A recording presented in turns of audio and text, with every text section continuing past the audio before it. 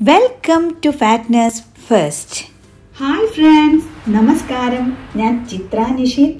ഇന്നത്തെ നമ്മുടെ റെസിപ്പി കടല ഡ്രൈ ഫ്രൈ ആണ്. അതിനായി കുറച്ച് കടല എടുത്ത് കഴുകി വൃത്തിയാക്കി ആറ് മണിക്കൂർ കുതിർത്ത് വെച്ചിരിക്കുകയാണ്.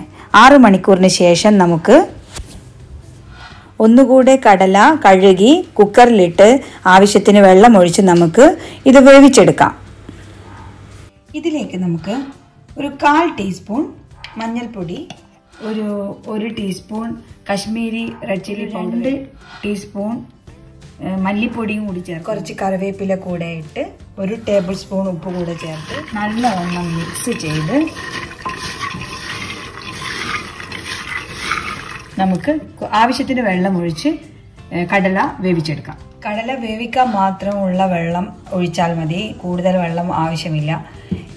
ഞാൻ ഇത്രയാണ് ഒഴിച്ചിരിക്കുന്നത്. ഇത് ഒരു ഡ്രൈ ഫ്രൈ അല്ലേ? ഇത് നമ്മൾ വെള്ളം വെന്ത് വെന്ത് കഴിഞ്ഞ് കഴിഞ്ഞാൽ നമ്മൾ വെള്ളം വറ്റിച്ചെടുക്കണം. അതുകൊണ്ട് ആവശ്യത്തിൽ കൂടുതൽ വെള്ളം ഒഴിക്കേണ്ട ആവശ്യത്തിനുള്ള മാത്രം ഒഴിച്ച് നമുക്ക് വേവിച്ചെടുക്കാം. ഇനി നമുക്ക് കുക്കറിന്റെ ടോപ്പ് അടച്ച് വെച്ച് വേവിച്ചെടുക്കാം. ഇനി ഫ്ലെയിം ഓൺ ചെയ്യാം. ഒരു മീഡിയം ഫ്ലെയിമിലിട്ടിട്ട് നമുക്ക് വേവിച്ചെടുക്കാം.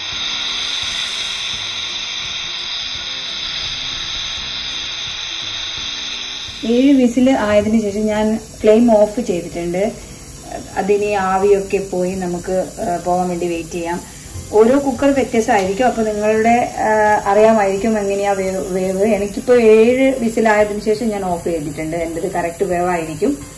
ഇനി നമുക്ക് ആവിയൊക്കെ പോയിട്ട് ഓപ്പൺ ചെയ്യാം. ആവിയൊക്കെ പോയിട്ടുണ്ട്. നമുക്ക് ഇതൊന്ന് ഓപ്പൺ ചെയ്ത് നോക്കിയാലോ.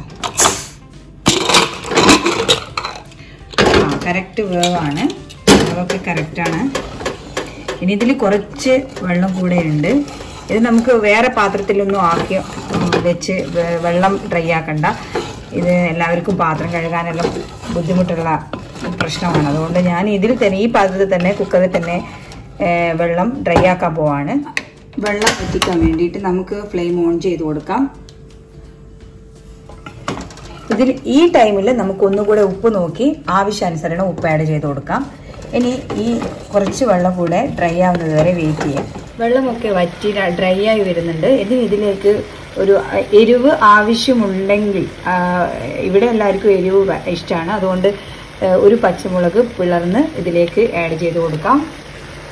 കൂടുതൽ എരിവ് ഇഷ്ടമില്ലാത്ത ആൾക്കാർക്ക് ഈ പച്ചമുളക് ഒഴിവാക്കാം. പിന്നെ ഇതിന്റെ പുറമെ ഇതിന്റെ കൂടെ കുറച്ച് കറിവേപ്പില കൂടെ ഇട്ടിട്ട് നമുക്ക് നല്ലവണ്ണം മിക്സാക്കി എടുക്കാം വളരെ എളുപ്പമല്ലേ ഇതുണ്ടാക്കാൻ? കൂടുതൽ ഐറ്റംസ് ഒന്നും ഇതിൽ ചേർക്കുന്നില്ല ഇഞ്ചി ചേർക്കുന്നില്ല വെളുത്തുള്ളി ചേർക്കുന്നില്ല. വെറും മസാലപ്പൊടിയും പച്ചമുളകും കറിവേപ്പിലയും മാത്രമാണ് ഇതിൽ ചേർക്കുന്നത്. പെട്ടെന്ന് തന്നെ ഉണ്ടാക്കിയെടുക്കാം. ഫൈനൽ സ്റ്റേജിലേക്ക് ആയിട്ടുണ്ട്. ഇനി നമുക്ക് ഇത് വെള്ളമൊക്കെ വറ്റി വന്നു കഴിഞ്ഞാൽ ഇതിലേക്ക് നമുക്ക് വെളിച്ചെണ്ണ കൂടെ ചേർത്ത് നല്ലവണ്ണം ഒന്നുകൂടെ വരട്ടിയെടുക്കാം. ഡ്രൈ ഫ്രൈ റെഡി ആയിട്ടുണ്ട്. ഞാൻ ഫ്ലെയിം ഓഫ് ചെയ്തിട്ടുണ്ട്. ഇനി നമ്മൾ ഇത് കഴിക്കാൻ പോകുന്ന സമയത്ത് കൊത്തി അരിഞ്ഞ സവോള ആ കഴിക്കുന്ന ആ ഒരു പാത്രത്തിൽ മുകളിൽ സെർവ് ചെയ്ത് അതിന്റെ കൂടെ സ്പൂൺ വെച്ച് അതും സവോളയും കടലയും കൂടെ ഒരുമിച്ചിട്ടാണ് കഴിക്കേണ്ടത്. അതാണ് ഇതിന്റെ ഒരു ടേസ്റ്റ് പിന്നെ എല്ലാവരോടും എന്റെ ഈ ചാനൽ സബ്സ്ക്രൈബ് ചെയ്യണം. പുതിയ ഈ ചാനലാണ് എല്ലാ എല്ലാവരെയും സപ്പോർട്ട് എനിക്ക് ആവശ്യമുണ്ട്. അതുകൊണ്ട് എന്നെ സപ്പോർട്ട് ചെയ്യുന്ന ഞാൻ വിചാരിക്കുന്നു. എല്ലാവരും പ്ലീസ് പ്ലീസ് പ്ലീസ് സബ്സ്ക്രൈബ് ചെയ്യൂ. അങ്ങനെ നമ്മുടെ കടല ഡ്രൈ ഫ്രൈ റെഡി ആയിരിക്കുകയാണ് എല്ലാവരും ട്രൈ ചെയ്ത് നോക്കൂ. പെട്ടെന്ന് കഴിയുന്ന ഒരു ഡ്രൈ ഫ്രൈ ആണ്. ഇഷ്ടപ്പെട്ടെങ്കിൽ സബ്സ്ക്രൈബ് ചെയ്യൂ സപ്പോർട്ട് ചെയ്യൂ. Thank you bye bye